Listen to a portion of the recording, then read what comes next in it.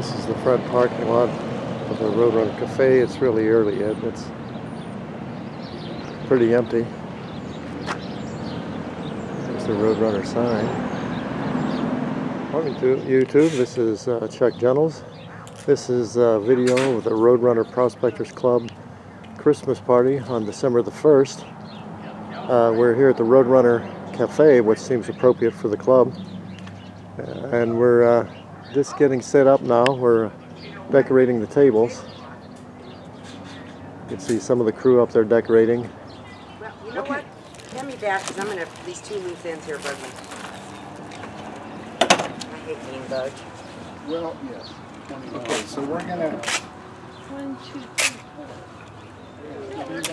So some of the members uh, signing up for the nugget drawing, getting their tickets. Chance to win a lot of really nice nuggets we had at this meeting. and you'll Tonight, so our board member and uh, he's in charge of selling the tickets. Uh, put you on down and you get yours. That's uh, Laura Wilkershine there, and Cheryl and, and Bob Hood uh, describing what's going to happen. This is the inside where the food was going to be served, and our banner up. There's some of the workers in here setting up. I thought it was going to be pretty cool, but I brought uh, let the people come through and get One seven eight, homemade potato chips.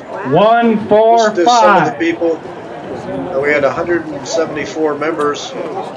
one seven eight, Now we're having a nugget drawing. one four five. We have 10 nuggets to give away. Be in the back They of the all room.